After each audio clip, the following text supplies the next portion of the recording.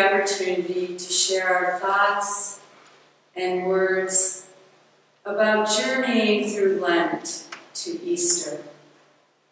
May we always be open to learn more about this Lenten liturgical season and accept the many invitations it offers us in order to grow in our faith and love for you and others. We thank you for your unending mercy May we show mercy to others. Thank you most of all for the gift of your Son, who gave his life so that we might live. In Christ our Lord, amen. Now do a reading from Psalm 25.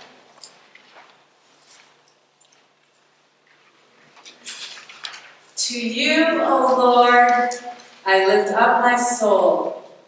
My God, in you I trust. Do not let me be disgraced. Do not let my enemies gloat over me.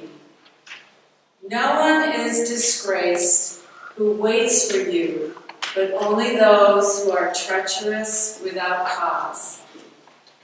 Make known to me your ways, Lord. Teach me your paths. Guide me by your fidelity and teach me, for you are God, my Savior. For you I wait all the day long. Remember your compassion and your mercy, O Lord, for they are ages old. Remember no more the sins of my youth Remember me according to your mercy, because of your goodness, Lord. To you, O Lord,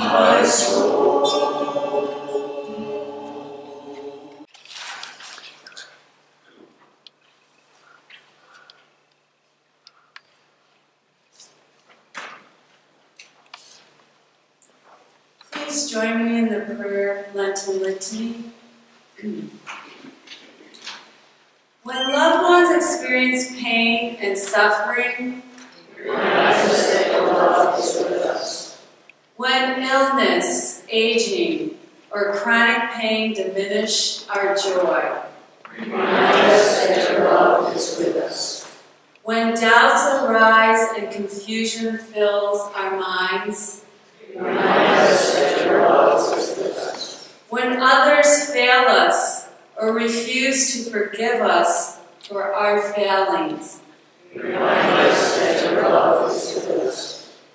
When we stumble and stray from the path of goodness.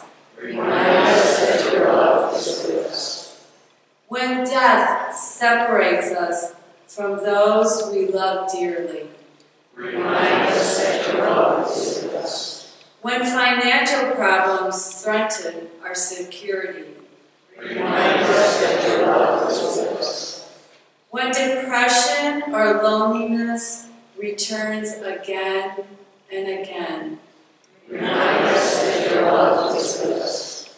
When broken relationships seem unamendable, remind us that your love is with us. When our faith strengthens and gives us courage, remind us that your love is with us. When the precious gift of life is recognized and appreciated, remind us that your love is with us. When unexpected kindness and caring comes our way, remind us that your love is with us. When optimism stirs in our hearts and springtime returns. When the peace of Christ calms our anxiety and softens our sadness.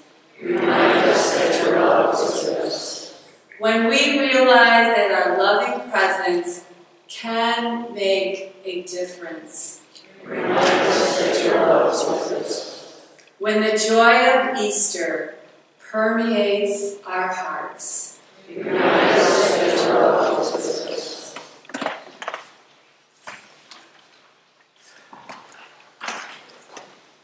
Up at the retreat house, we found that on Friday nights is often um, hard to transition into retreat mode. And so we've come up with different ways to assist those who are coming from a busy day of work maybe a busy week, a busy month, and we try to offer a quiet moment that will kind of lead us into the retreat itself.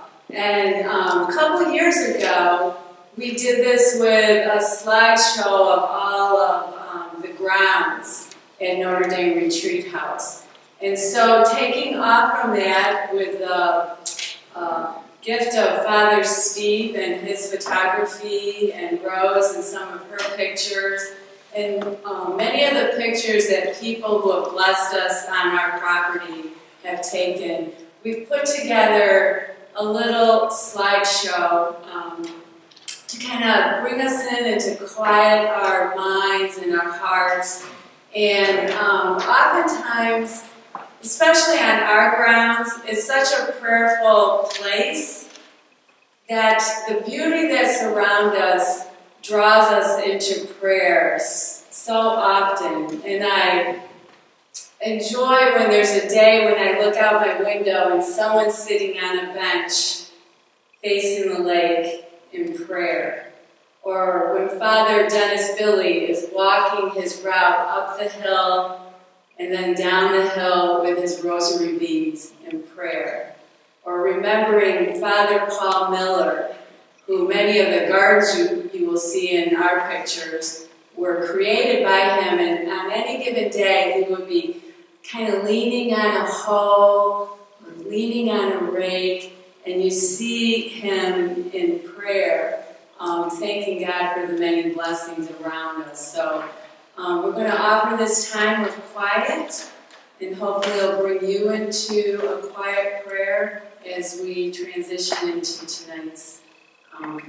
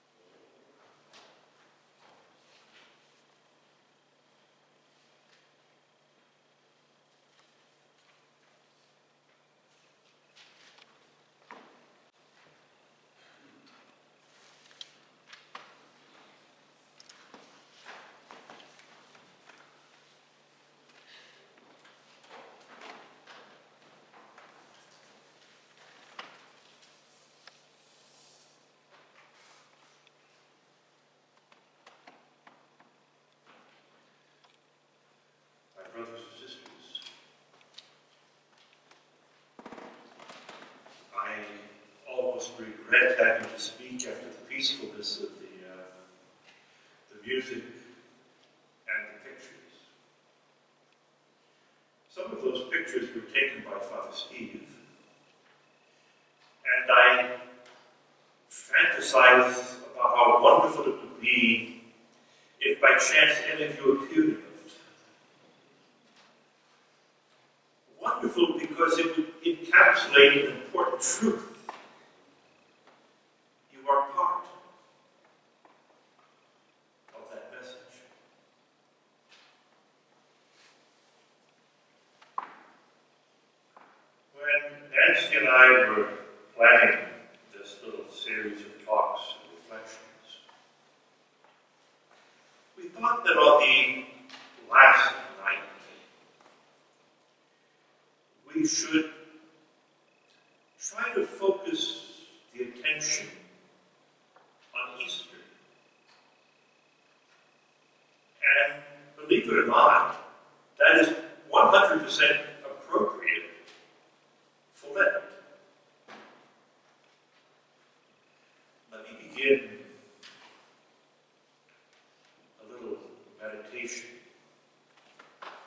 sharing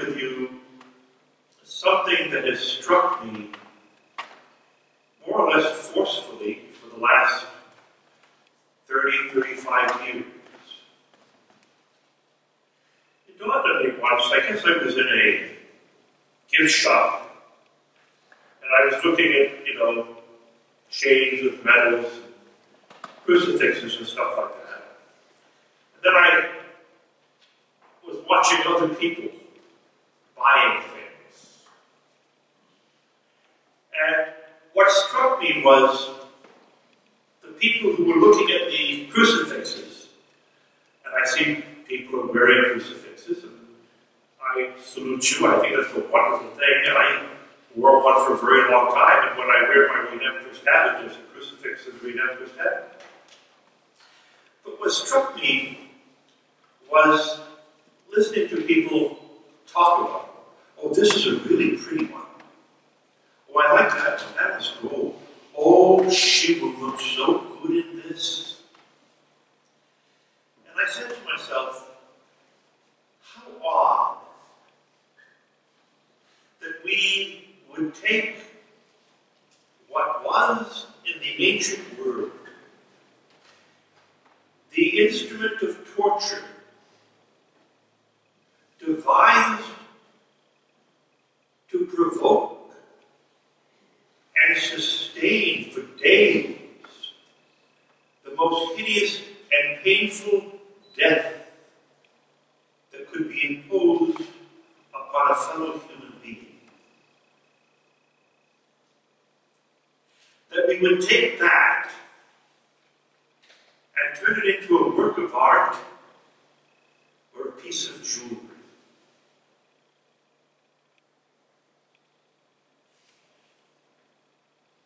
I remember trying to imagine people going, Oh, did you see that hangman's noose? Oh, really? It's where did you get it? And that little electric chair you're wearing in your earring, and it lights up. Oh.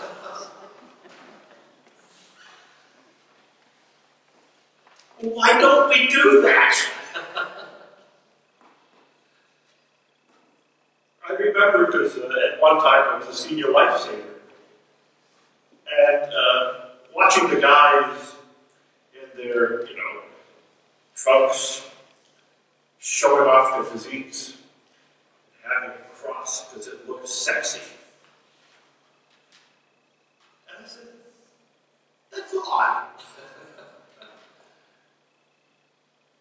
and yet, I have to wonder how could that ever have come about? And I think, after years of reflecting on it, oh, by the way, I wear crosses also. I look pretty sexy when I wear it myself. uh, I think the answer lies in the fact that the cross always points beyond itself. If that cross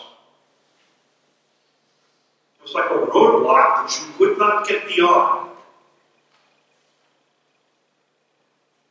a different world this would be. Some 30 years before I became the rector at uh, Notre Dame Retreat House, one of my confreres who was rector there, well ahead of me, had gotten together with an artist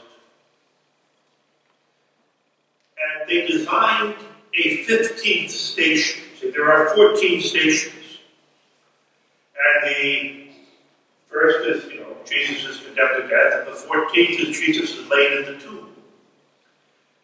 Well, my predecessor, working with an artist, decided, yeah, that's not right. And they actually created a 15th station. And if you come up to the retreat house, you'll have the opportunity to see it. It's quite nice. I mean, it fits in with the others. But it is of the resurrection. So we put Christ in the tomb, and on the 15th, Christ is rising up.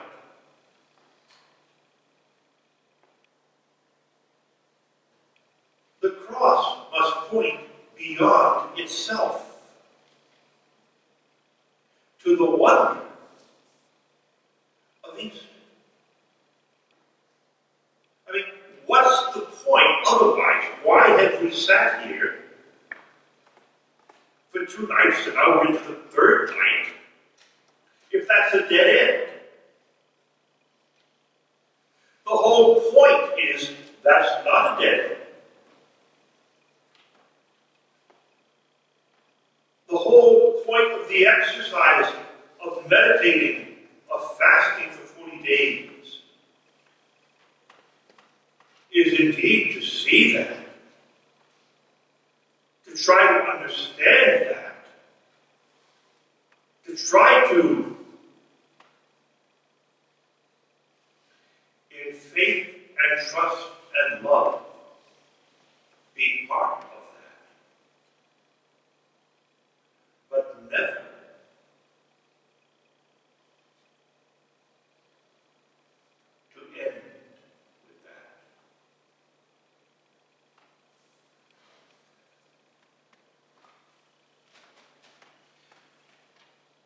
little joke I heard. I didn't hear it, I read it. In the New York Times, when I was teaching in the seminary, which now puts us back, I think around 1981. And I was reading an article in the New York Times on humor and the various tests that the particular psychologists involved were devising to try and figure out whether or not a person had a good sense of humor or they were sick. And here was one of the little jokes on the test. It seems there was a mountain climber who had decided he was going to try and you know, scale up this high precipice which was extremely difficult, but he was a good mountain climber and wanted to, you know, test his skills. So as he climbed up, he had made it almost to the top. When something went wrong, he slipped and fell off, and he's plummeting down to his death below, hundreds of feet onto rocks where he would certainly be smashed. And in desperation, without much thought, his hands are flailing, and by luck, one of them latches onto a little bush growing out of the side of the cliff face. Clutches it with one hand and grabs it with the other hand. And he's hanging there, trying to catch his breath. And the little bush starts pulling away from the cliff face. And he knows he's never going to be able to climb back up to the top. So in desperation, he looks up into the heavens and he shouts out, Oh God, help me! And to his surprise, great voice booms back and says, My son, I have heard you. Let go of the bush. All will be well. The climber thinks about that, looks back up into the heavens and shouts, Is there anybody else out there? if you laughed, you helped him. If you didn't, simulate. Is there anybody else out there? And many times in our faith and in our life, I think that is what we shout out. Is there anybody else out there? Seems perhaps that God asks too much. I've taken a little joke and I've given it a slightly different name. The climber hears the voice, releases the branch, and falls to his death. And all is well. And all is well. Part of the mystery of the cross. To be willing to truly identify with my brother, with my Lord.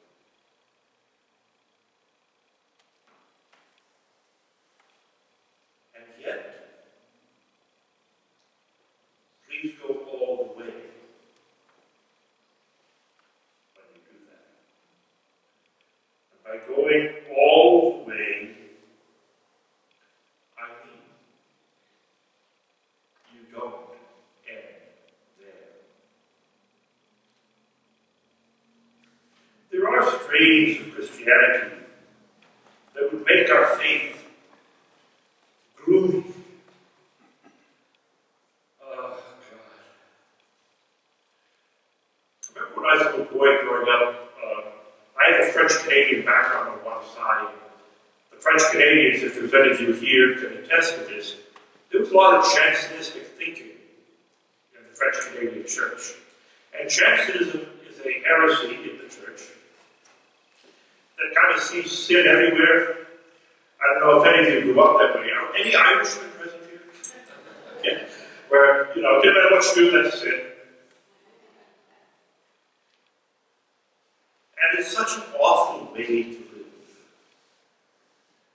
favorite definition of Puritanism, and Puritanism has certainly seeped into so much of American life in many, many ways.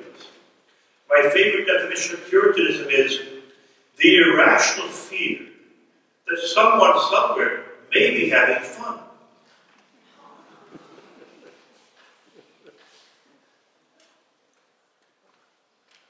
But a Christian, with all of that, should be having fun. Because we don't end there. We should be and are known to be in the world happy. I was talking to a Redemptorist missionary in Japan, and he told me that they had received special permission from the Vatican to marry non-Catholic Japanese people in Catholic Church. Because the Japanese look upon our faith as a faith of love and joy. And by being willing to enter in with them and marry them, it was also the opportunity to evangelize and teach But I love the fact that they would look upon us as a religion of love and joy. Christianity did not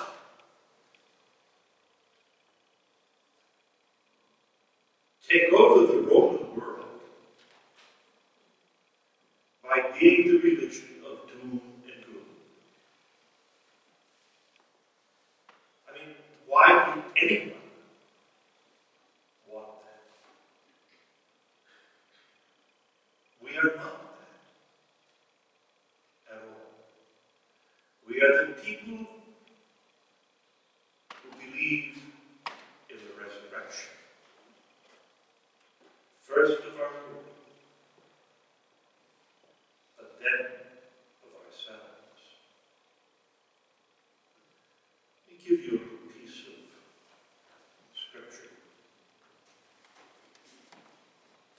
St. Paul,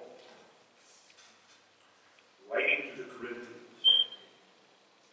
And this, by the way, within, 50, within 20 years of our Lord's death. Okay? This is what is being written. Now, if Christ is proclaimed as raised from the dead, how can some of you say there is no resurrection of the dead? If there is no resurrection of the dead, then Christ has not been raised. And if Christ has not been raised, then our proclamation has been in vain, and your faith has been in vain. If all there is is the cross, our proclamation has been in vain, and our faith has been in vain. We are even found to be misrepresenting God because we testified of God that He raised Christ, whom He did not raise, if it is true that the dead are not raised. For if the dead are not raised, then Christ has not been raised. If Christ has not been raised, your faith is futile, and you are still in your sins. Then those also who have died in Christ have perished. If for this life only we have hoped in Christ, we are of all people most to be pitied. St. Paul. Writing within 20 years of that. The early Christians did not celebrate the crucifixion. They celebrated the resurrection. They were all too painfully aware of the crucifixion. The ancient Christians didn't wear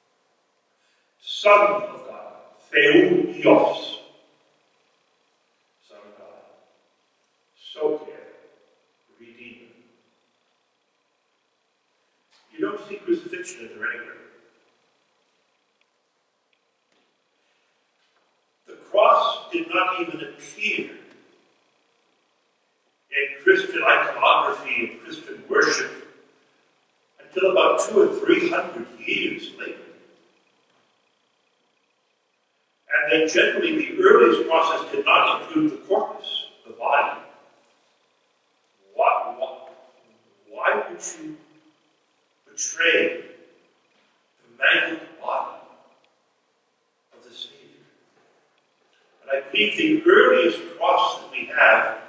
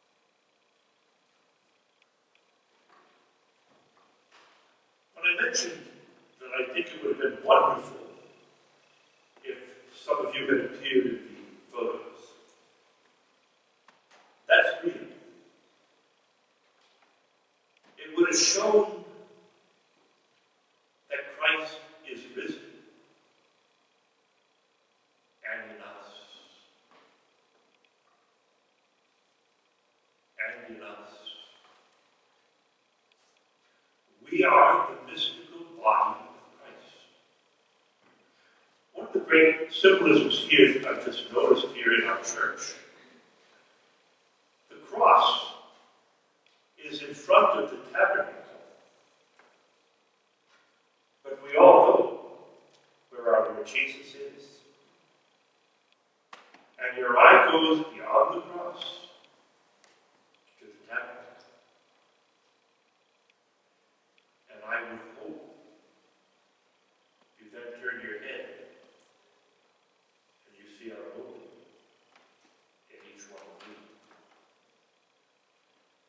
doctrine now. The doctrine of the mystical body of Christ.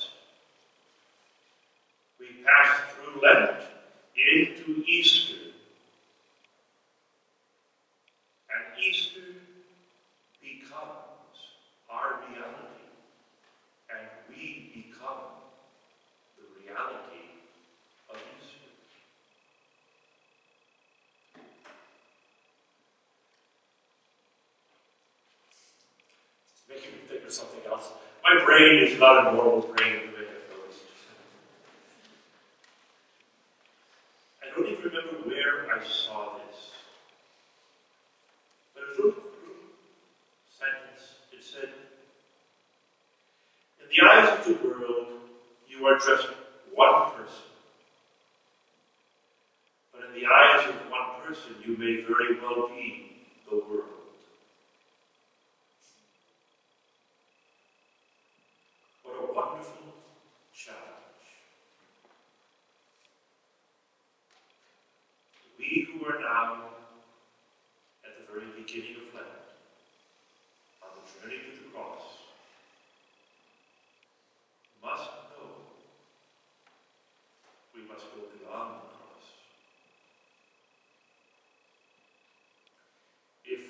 fast, do penance, it is not because we relish the pain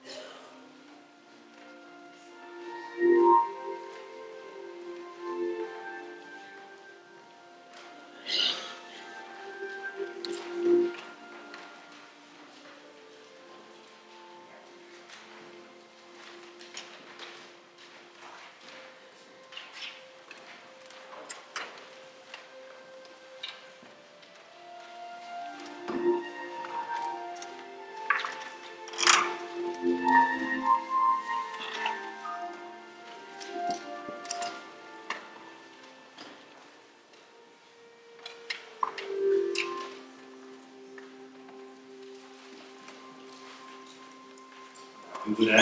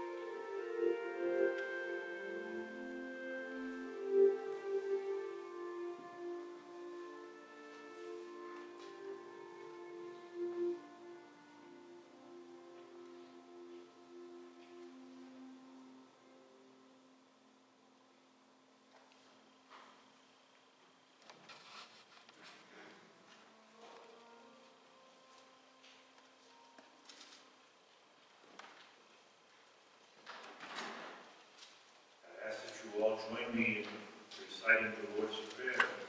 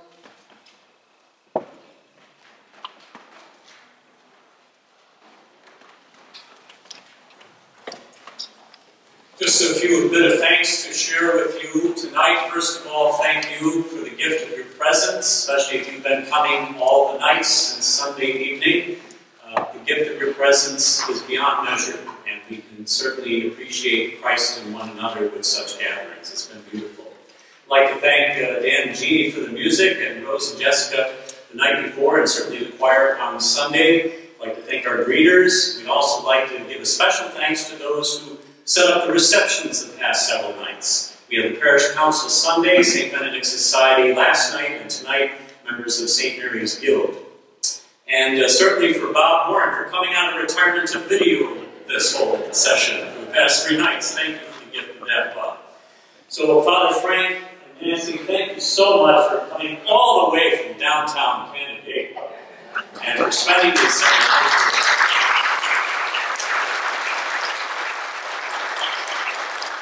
You certainly made the Lenten experience come more alive, especially through all the beautiful visuals that you shared with us and the gifts of your stories and experiences and wisdom have certainly enriched our journey towards the joy of Easter. And I would like to conclude, if I may, before we go and get all the goodies on the side of the link, I'd like to ask Father Frank and Nancy to come down here because I would like to lead us all in giving them a special blessing in their continued ministry. Yes? So please come down here. Step into my office.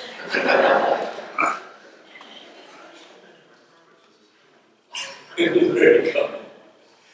And I would like to invite all of you to stand and aim your right hand and arm in their direction as we pray over them. Almighty God and Father, we are so blessed with these past several nights of mission we renew our commitment to you and our commitment to be telling witnesses of your love for us as we head towards Easter joy once again.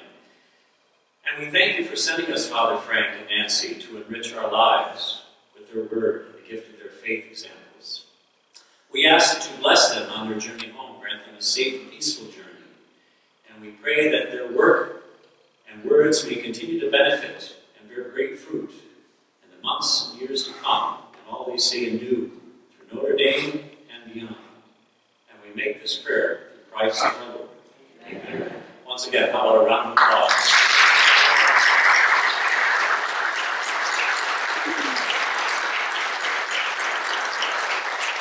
Now, as the Italians say, mangia, mangia, mangia.